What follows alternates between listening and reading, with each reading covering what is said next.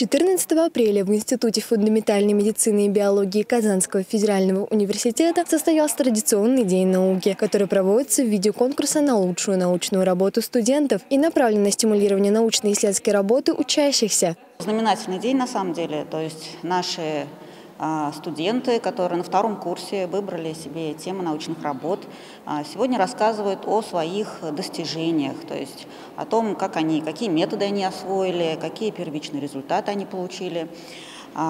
И на этой конференции помимо студентов-биологов также присутствуют и студенты-медики, которые также интересуются наукой и могут в перспективе выбрать те или иные научные направления. Порядком более 200 студентов института выступили со своими докладами в рамках девяти секций. Так, например, самыми популярными секциями стала биохимия, зоология, общая биология и генетика. Наша секция – это секция по физиологии. У нас очень много студентов, почти 30 человек, поэтому у нас разделена секция на две части – и представлено на самом деле очень много различных направлений. И студенты у нас работают по ключевым приоритетным направлениям развития нашего института. Стоит отметить, что День науки – это традиционное ежегодное мероприятие, которое проходит в каждом институте университета. Диана Шилова, Роман Самарин, UniverNews. News.